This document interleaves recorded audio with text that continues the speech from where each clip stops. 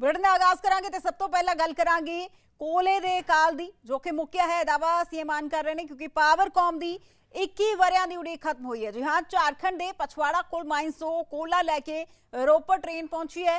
ਕੋਲ ਮਾਈਨ ਦੀ ਸਾਲਾਨਾ ਸਮਰੱਥਾ ਦੀ ਗੱਲ ਕੀਤੀ ਜਾਏ ਤਾਂ 70 ਲੱਖ ਮੀਟ੍ਰਿਕ ਟਨ ਦੱਸੀ ਜਾ ਰਹੀ ਹੈ। ਦਸੰਬਰ 2001 ਦੇ ਵਿੱਚ ਪੰਜਾਬ ਨੂੰ ਜਿੱਥੇ ਕਿ ਇਹ ਕੋਲ ਮਾਈਨ ਅਲਾਟ ਹੋਈ ਸੀ ਇਸੇ ਨੂੰ ਲੈ ਕੇ ਹੁਣ ਕਿਤੇ ਨਾ ਕਿਤੇ ਪਾਵਰਕਾਮ ਦੀ 21 ਵਰਿਆਂ ਦੀ ਉਡੀਕ ਜੋ ਹੈ ਉਹ ਖਤਮ ਹੋਈ ਹੈ। ਤਾਂ ਅੱਜ ਹੀ ਇਸ ਟ੍ਰੇਨ ਨੂੰ ਰਿਸੀਵ ਕੀਤਾ ਗਿਆ, ਜੋ ਕਿ ਕੋਲਾ ਲੈ ਕੇ ਪਹੁੰਚੀ। ਤਾਂ ਕੋਲ ਮਾਈਨਸ ਤੋਂ ਕੋਲਾ ਲੈ ਕੇ ਰੋਪੜ ਪਹੁੰਚੀ ਇਹ ਟ੍ਰੇਨ ਝਾਰਖੰਡ ਦੇ ਪਛਵਾੜਾ ਤੋਂ। ਇਹ ਕੋਲਾ ਜੋ ਹੈ ਲਿਆਂਦਾ ਗਿਆ ਹੈ ਪਾਵਰਕਾਮ ਦੀ 21 ਵਰਿਆਂ ਦੀ ਉਡੀਕ ਖਤਮ ਹੋਈ ਹੈ। ਝਾਰਖੰਡ ਦੇ ਪਛਵਾੜਾ ਕੋਲ ਮਾਈਨਸ ਤੋਂ ਕੋਲਾ ਲੈ ਕੇ ਰੋਪੜ ਪਹੁੰਚੀ ਟ੍ਰੇਨ ਕੋਲ ਮਾਈਨ ਦੀ ਸਾਲਾਨਾ 70 ਲੱਖ ਮੀਟਰ ਟਨ ਦੀ ਜਿੱਥੇ ਸਮਰੱਥਾ ਹੈ। ਦਸੰਬਰ 2001 ਦੇ ਵਿੱਚ ਪੰਜਾਬ ਨੂੰ ਇਹ ਕੋਲ ਮਾਈਨ ਅਲਾਟ ਹੋਈ ਸੀ।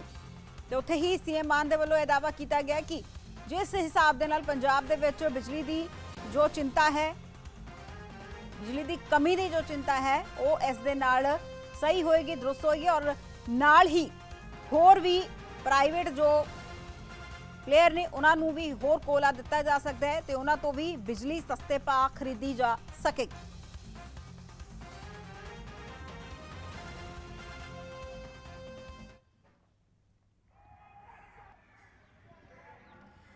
ਇਹ ਤਸਵੀਰਾਂ ਦੇਖ ਪਾ ਰਹੇ ਹੋ ਜਿੱਥੇ ਕਿ ਪਾਵਰਕਾਮ ਦੀ 21 ਵਰਿਆਂ ਦੀ ਉਡੀਕ ਖਤਮ ਹੋਈ ਹੈ। ਕੋਲ ਮਾਈਨਸ ਤੋਂ ਕੋਲਾ ਲੈ ਕੇ ਇਹ ਟ੍ਰੇਨ ਪਹੁੰਚੀ। ਝਾਰਖੰਡ ਦੇ ਪਛਵਾੜਾ ਕੋਲ ਮਾਈਨਸ ਤੋਂ ਕੋਲਾ ਲਿਆਂਦਾ ਗਿਆ ਹੈ। ਇਹ ਕੋਲਾ ਲੈ ਕੇ ਰੋਪੜ, ਇਸ ਟ੍ਰੇਨ ਦੇ ਪਹੁੰਚਣ ਤੇ ਇਸ ਦਾ ਪਰਮਾ ਸਵਾਗਤ ਜੋ ਹੈ ਉਹ ਕੀਤਾ ਗਿਆ। ਔਰ ਖਾਸ ਤੌਰ ਤੇ ਇੱਕ ਵੱਡਾ ਵਫਦ ਜੋ ਹੈ ਉਹ ਦੇਖਿਆ ਜਾ ਰਿਹਾ ਸੀ। ਇਸ ਮੌਕੇ ਕਈ ਸ਼ਖਸੀਅਤਾਂ ਮੌਜੂਦ ਰਹੀਆਂ। ਕੋਲ ਮਾਈਨ ਦੀ ਸਾਲਾਨਾ 70 ਲੱਖ ਮੀਟ੍ਰਿਕ ਟਨ ਦੀ ਸਮਰੱਥਾ ਹੈ। ਦਸੰਬਰ 2001 ਦੇ ਵਿੱਚ ਹੀ ਪੰਜਾਬ ਨੂੰ ਇਹ ਕੋਲ ਮਾਈਨ ਅਲਾਟ ਹੋਈ ਸੀ।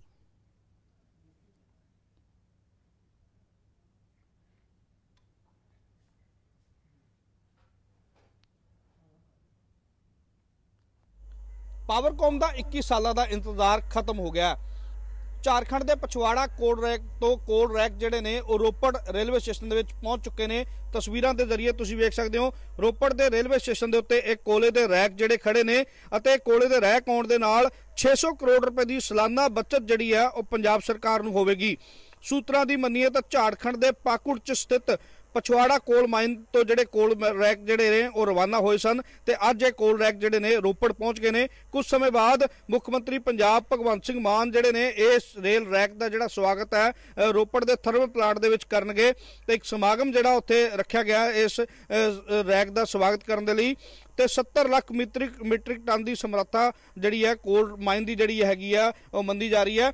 ਪਰ ਇਹ ਬੜਾ ਅਹਿਮ ਹੋਵੇਗਾ ਵੀ ਐਡੀ ਵੱਡੀ ਮਾਤਰਾ ਦੇ ਵਿੱਚ ਜਦੋਂ ਕੋਲ ਮਾਈਨ ਜਿਹੜੇ ਨੇ, ਇਹ ਕੋਲ ਰੈਕ ਜਿਹੜੇ ਪੰਜਾਬ ਦੇ ਵਿੱਚ ਜਿਹੜੇ ਪਹੁੰਚਣਗੇ ਤੇ ਇਹ ਕੋਲ ਰੈਕ ਕੇਵਲ ਸਰਕਾਰੀ ਥਰਮਲ ਪਲਾਂਟਾਂ ਦੇ ਵਿੱਚ ਵਰਤੇ ਜਾਣਗੇ ਜਾਂ ਨਿੱਜੀ ਜਿਹੜੇ ਥਰਮਲ ਪਲਾਂਟ ਆ, ਉੱਥੇ ਵੀ ਜਿਹੜੇ ਇਹ ਕੋਲ ਰੈਕ ਦੀ ਜਿਹੜੀ ਵਰਤੋਂ ਹੋਵੇਗੀ, ਇਹ ਇੱਕ ਵੱਡਾ ਸਵਾਲ ਹੋਵੇਗਾ ਤੇ ਮੁੱਖ ਮੰਤਰੀ ਪੰਜਾਬ ਕੋਲੋਂ ਇਸ ਦਾ ਜਵਾਬ ਜਿਹੜਾ ਉਹ ਲਿਆ ਜਾਵੇਗਾ। ਤੇ ਦੇਖਣਾ ਹੋਵੇਗਾ ਕਿ ਕੁਝ ਸਮੇਂ ਬਾਅਦ ਜਦੋਂ ਮੁੱਖ ਮੰਤਰੀ ਪੰਜਾਬ ਇਹ ਇੱਥੇ ਪਹੁੰਚਦੇ ਨੇ ਰੋਪੜ ਦੇ ਵਿੱਚ ਪਹੁੰਚਦੇ ਨੇ ਤਾਂ ਇਹ ਕੋਲ ਰੈਕ ਦਾ ਸਵਾਗਤ ਕਰਦੇ ਨੇ। ਤਾਂ ਕੀ ਜਿਹੜੇ ਤਰਕ ਨੇ ਇਸ ਕੋਲ ਰੈਕ ਦੇ ਪਿੱਛੇ ਦਿੰਦੇ ਨੇ? ਕਿਉਂਕਿ ਹਲੇ ਕੋਲ ਰੈਕਾਂ ਦੀ ਜਿਹੜੀ ਲੜਾਈ ਆ, ਉਹ ਚੱਲਦੀ ਰਹੀ ਹੈ ਸੁਪਰੀਮ ਕੋਰਟ ਦੇ ਵਿੱਚ ਵੀ ਜਿਹੜੀ ਇਸ ਨੂੰ ਲੈ ਕੇ ਜਿਹੜੀ ਲੰਮਾ ਸਮਾਂ ਜਿਹੜੀ ਲੜਾਈ ਆ, ਉਹ ਚੱਲਦੀ ਰਹੀ ਹੈ ਤੇ ਹੁਣ ਲੰਮੇ ਸਮੇਂ ਬਾਅਦ ਜਿਹੜੀ ਪਾਵਰਕੌਮ ਨੂੰ ਜਿਹੜੀ ਸਫਲਤਾ ਮਿਲੀ ਹੈ ਜਿਸ ਦੇ ਸਦਕਾ ਹੀ ਜਿਹੜੇ ਕੋਲ ਰੈਕ ਨੇ, ਅੱਜ ਰੋਪੜ ਦੇ ਵਿੱਚ ਜਿਹੜੇ ਨੇ, ਪੰਜਾਬ ਦੇ ਵਿੱਚ ਜਿਹੜੇ ਕੋਲ ਰੈਕ ਆ, ਉਹ ਪਹੁੰਚ ਗਏ ਨੇ। ਰੋਪੜ ਥਰਮਲ ਪਲਾਂਟ ਦੇ ਵਿੱਚ ਜਿਹੜੀ ਪਹਿਲੀ ਜਿਹੜੀ ਗੱਡੀ ਹੈ ਕੋਲ ਦੀ, ਉਹ ਜਿਹੜੀ ਪਹੁੰਚ ਗਈ ਹੈ। ਕੈਮਰਾਮੈਨ ਸਰਬਜੀਤ ਸਿੰਘ ਦੇ ਨਾਲ Jagjit Jaggi, PTC news Ropar. So ਬਿਲਕੁਲ, ਝਾਰਖੰਡ ਦੇ ਪਛਵਾੜਾ ਕੋਲ ਮਾਈਨਸ ਤੋਂ ਕੋਲਾ ਲੈ ਕੇ ਜਿੱਥੇ ਕਿ ਪੰਜਾਬ ਹੈ ਟ੍ਰੇਨ ਪਹੁੰਚੀ, ਉੱਥੇ ਹੀ ਮਾਨ ਨੇ ਟ੍ਰੇਨ ਨੂੰ ਰੋਪੜ ਥਰਮਲ ਪਲਾਂਟ ਤੇ ਰਿਸੀਵ ਕੀਤਾ। ਉਹਨੇ ਕਿਹਾ ਕਿ ਪੰਜਾਬ ਨੂੰ ਹਰ ਸਾਲ ਹੀ ਕਰੀਬ 1500 ਕਰੋੜ ਰੁਪਏ ਦਾ ਹੁਣ ਫਾਇਦਾ ਹੋਏਗਾ। ਨਿੱਜੀ ਥਰਮਲ ਪਲਾਂਟਾਂ ਨੂੰ ਵੀ ਵਾਧੂ ਕੋਲਾ ਦੇਵਾਂਗੇ। ਸੀਐਮ ਇਹ ਦਾਅਵਾ ਕਰਦੇ ਵੀ ਨਜ਼ਰ ਆਏ। ਕੋਲੇ ਦੇ ਕਰਕੇ ਹੁਣ ਪੰਜਾਬ ਦੇ ਵਿੱਚ ਬਿਜਲੀ ਦੀ ਕਮੀ ਵੀ ਨਹੀਂ ਆਏਗੀ। ਵਾਧੂ ਕੋਲਾ ਕੱਢਣ ਦੀ ਵੀ ਜਲਦ ਕੇਂਦਰ ਦੇ ਕੋਲੋਂ ਇਜਾਜ਼ਤ ਮਿਲੇਗੀ। ਕੋਲ ਮਾਈਨ ਦੀ ਸਾਲਾਨਾ 70 ਲੱਖ ਮੀਟ੍ਰਿਕ ਟਨ ਦੀ ਜਿੱਥੇ ਸਮਰੱਥਾ ਹੈ, ਦਸੰਬਰ 2001 ਦੇ ਵਿੱਚ ਪੰਜਾਬ ਨੂੰ ਇਹ ਕੋਲ ਮਾਈਨ ਅਲਾਟ ਹੋਈ ਸੀ। ਇਸੇ ਨੂੰ ਲੈ ਕੇ ਸੀਐਮ ਮਾਨ ਇਹ ਦਾਅਵਾ ਕਰਦੇ ਹੋਏ ਨਜ਼ਰ ਆਏ ਨੇ ਕਿ ਹੁਣ ਪੰਜਾਬ ਨੂੰ ਹਰ ਸਾਲ ਕਰੀਬ 1500 ਕਰੋੜ ਰੁਪਏ ਦਾ ਫਾਇਦਾ ਹੋਏਗਾ। ਨਿੱਜੀ ਥਰਮਲ ਪਲਾਂਟ ਜੋ ਨੇ, ਜੋ ਪ੍ਰਾਈਵੇਟ ਪਲੇਅਰ ਨੇ, ਉਹਨਾਂ ਨੂੰ ਵੀ ਵਾਧੂ ਕੋਲਾ ਦਿੱਤਾ ਜਾਏਗਾ। ਬਿਜਲੀ ਸਸਤੇ ਭਾਅ ਹੋਰ ਖਰੀਦੀ ਜਾ ਸਕੇ।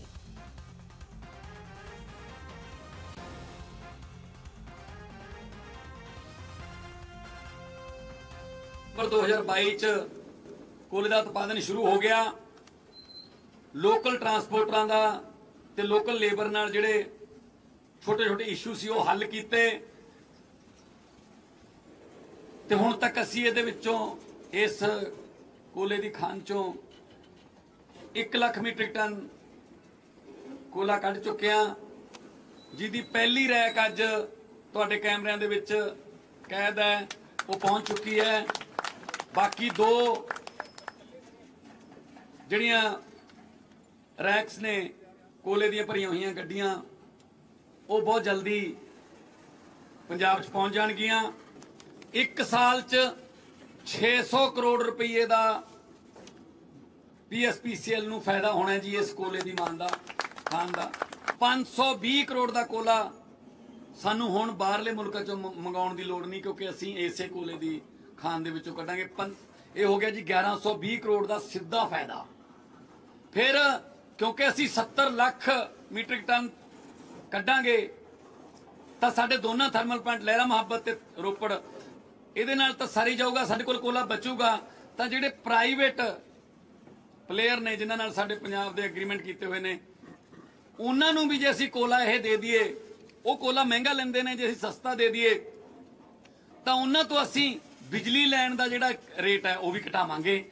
ਉਹਦੇ ਨਾਲ 200 ਤੋਂ 250 ਕਰੋੜ ਦਾ ਹੋਰ ਫਾਇਦਾ ਯਾਨੀ ਕਿ 1500 ਕਰੋੜ ਰੁਪਏ ਦਾ ਫਾਇਦਾ ਅੱਜ ਤੋਂ ਸ਼ੁਰੂ ਹੋ ਗਿਆ। ਅਸੀਂ ਪ੍ਰਾਈਵੇਟ ਜਿਹੜੇ ਮਹਿੰਗਾ ਕੋਲਾ ਖਰੀਦ ਕੇ ਸਾਨੂੰ ਮਹਿੰਗੀ ਬਿਜਲੀ ਦਿੰਦੇ ਨੇ, ਉਹਨਾਂ ਨੂੰ ਇਹ ਕੋਲਾ ਅਸੀਂ ਕੇਂਦਰੀ ਬਿਜਲੀ ਮੰਤਰੀ ਮਾਨਯੋਗ ਆਰ ਕੇ ਸਿੰਘ ਜੀ ਨਾਲ ਮਿਲ ਕੇ ਆਏ ਆ ਅਸੀਂ ਉਹਨਾਂ ਨੂੰ ਕਿਹਾ ਕਿ ਸਾਨੂੰ ਹੋਰ ਵੱਧ ਕੋਲਾ ਕੱਢ ਕੇ ਬਾਕੀ ਥਰਮਲ ਪਲਾਂਟਾਂ ਨੂੰ ਵੀ ਉਹ ਕੋਲਾ ਦੇਣ ਦੀ ਇਜਾਜ਼ਤ ਦਿਓ ਤੇ ਜਿਹੜੀ ਤੁਸੀਂ ਰਾਇਲਟੀ ਕਹਿੰਦੇ ਹੋ ਕਿ ਜੇ ਤੁਸੀਂ ਸਰਕਾਰੀ ਤੋਂ ਬਿਨਾ ਪ੍ਰਾਈਵੇਟ ਨੂੰ ਕੋਲਾ ਦਿੰਦੇ ਹੋ ਤਾਂ ਕਹਿੰਦੇ 800 ਰੁਪਏ ਟਨ ਸੈਂਟਰ ਨੂੰ ਰਾਇਲਟੀ ਦਿਓ। ਸਾਡੀ ਖਾਨ ਹੈ ਜੀ। ਟ੍ਰੇਨ ਦਾ ਅਸੀਂ ਸ- ਕਿਰਾਇਆ ਦਿੰਨੇ ਆ ਰਾਇਲਟੀ ਕਾਦੇ ਵਾਸਤੇ? ਤਾਂ ਮੈਂ ਇੱਥੇ ਮੁੱਦਾ ਉਠਾਇਆ ਸੈਂਟਰ ਕੋਲੇ ਕਿ ਜੇ ਜੇ ਸਾਨੂੰ ਤੁਸੀਂ ਸੈਂਟਰ ਵੱਲੋਂ ਹੈ ਸਹਾਇਤਾ ਦਿੰਦੇ ਨਹੀਂ, ਘੱਟੋ ਘੱਟ ਸਾਥੋਂ ਲਓ ਤਾਂ ਨਾ। ਅਸੀਂ ਆਪਣੇ ਪੈਰਾਂ ਸਿਰ ਆਪ ਖੜੇ ਹੋ ਜਾਾਂਗੇ, ਘੱਟੋ ਘੱਟ ਸਾਥੋਂ ਰਾਇਲਟੀਆਂ ਤਾਂ ਨਾ ਮੰਗੋ। ਤਾਂ ਮੰਤਰੀ ਸਾਹਿਬ ਨੇ ਸਾਨੂੰ ਭਰੋਸਾ ਦਿੱਤਾ ਹੈ ਕਿ ਰਾਇਲਟੀ ਜਿਹੜੀ ਹੈ, ਉਹ ਵੀ ਅਸੀਂ ਵੇਵ ਆਫ ਕਰ ਦਾਂਗੇ। ਤੇ ਨਾਲ ਨਾਲ ਵੱਧ ਕੋਲਾ ਕੱਢਣ ਦੀ ਇਜਾਜ਼ਤ ਵੀ ਇਸ ਪਛਵਾੜਾ ਦੀ ਕੋਲ ਮਾਈਨ ਚੋਂ ਸਾਨੂੰ ਮਿਲੂਗੀ। ਮੈਨੂੰ ਉਮੀਦ ਹੈ ਜਲਦੀ ਉਹ ਤੇ ਫਾਰਮੈਲਿਟੀਆਂ ਹੋ ਜਾਣਗੀਆਂ। ਉਧਰ ਰੋਪੜ ਪਹੁੰਚੇ ਮੁੱਖ ਮੰਤਰੀ ਮਾਨ ਤੇ ਸ਼੍ਰੋਮਣੀ ਅਕਾਲੀ ਦਲ ਨੇ ਤੰਜ ਕੱਸਿਆ। ਉਹਨਾਂ ਕਿਹਾ ਕਿ ਸ਼ੁਕਰ ਹੈ, ਪੰਜਾਬ ਦੇ ਵਿੱਚ ਵੀ ਮੁੱਖ ਮੰਤਰੀ ਮਾਨ ਨਜ਼ਰ ਆਏ ਨੇ। ਆਪ ਦੀ ਹੈ ਆਦਤ ਹਰ ਕਾਮਯਾਬੀ ਨੂੰ ਆਪਣੀ ਝੋਲੀ ਪਾਉਣਾ। ਅਦਾਲਤ ਦੇ ਫੈਸਲਿਆਂ ਨੂੰ ਵੀ ਆਪਣੀਆਂ ਪ੍ਰਾਪਤੀਆਂ ਦੱਸਦੀ ਹੈ ਆਮ ਆਦਮੀ ਪਾਰਟੀ। ਤਾਂ ਤੰਜ ਕੱਸਦੇ ਹੋਏ ਸ਼੍ਰੋਮਣੀ ਅਕਾਲੀ ਦਲ ਦੇ ਨੁਮਾਇੰਦੇ ਜੁਨੇ ਉਹ ਨਜ਼ਰ ਆਏ ਨੇ। ਆਪ ਦੀ ਇਹ ਆਦਤ ਹੈ ਕਿ ਹਰ ਕਾਮਯਾਬੀ ਨੂੰ ਉਹ ਆਪਣੀ ਝੋਲੀ ਪਾਉਂਦੇ ਨੇ। ਅਦਾਲਤ ਦੇ ਫੈਸਲਿਆਂ ਨੂੰ ਵੀ ਆਪਣੀਆਂ ਪ੍ਰਾਪਤੀਆਂ ਦੱਸਦੀ ਹੈ ਆਮ ਆਦਮੀ ਪਾਰਟੀ। ਨਾਲ ਹੀ ਸ਼੍ਰੋਮਣੀ ਅਕਾਲੀ ਦਲ ਦੇ ਵੱਲੋਂ ਤੰਜ ਕੱਸਦਿਆਂ ਕਿਹਾ ਗਿਆ ਹੈ ਕਿ ਸ਼ੁਕਰ ਹੈ ਪੰਜਾਬ ਦੇ ਵਿੱਚ ਵੀ ਮੁੱਖ ਮੰਤਰੀ ਮਾਨ ਨਜ਼ਰ ਆਏ ਨੇ।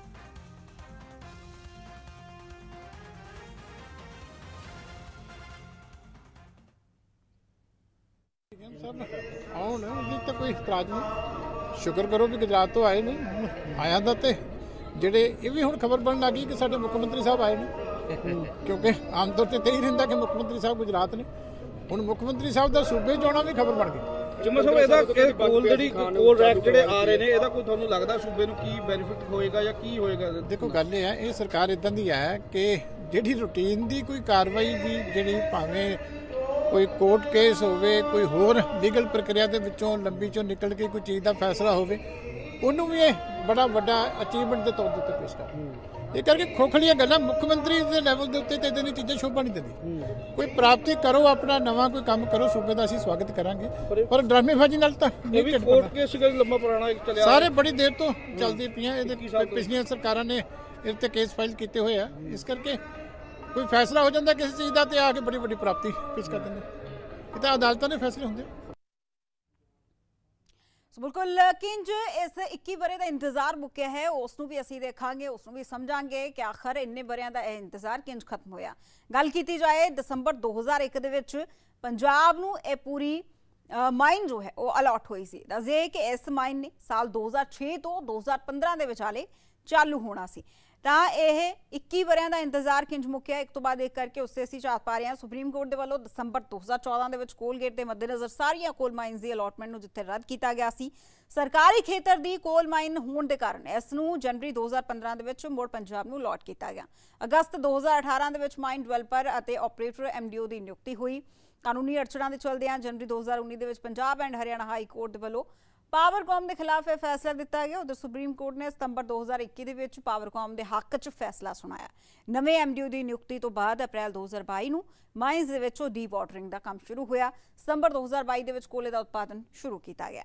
ਇਸ ਤੋਂ ਇਲਾਵਾ 12 ਦਸੰਬਰ 2022 ਨੂੰ ਕੋਲਾ ਝਾਰਖੰਡ ਦੇ ਪਾਕੁਰ ਰੇਲਵੇ ਸਟੇਸ਼ਨ ਤੋਂ ਚੱਲਿਆ। 16 ਦਸੰਬਰ 2022 ਨੂੰ ਕੋਲੇ ਦੀ ਟ੍ਰੇਨ ਰੋਪੜ ਥਰਮਲ ਪਲਾਂਟ ਪਹੁੰਚੀ। ਯਾਨੀ ਅੱਜ ਤੇ 21 ਵਰਿਆਂ ਦਾ ਇਹ ਇੰਤਜ਼ਾਰ ਖਤਮ ਹੋਇਆ।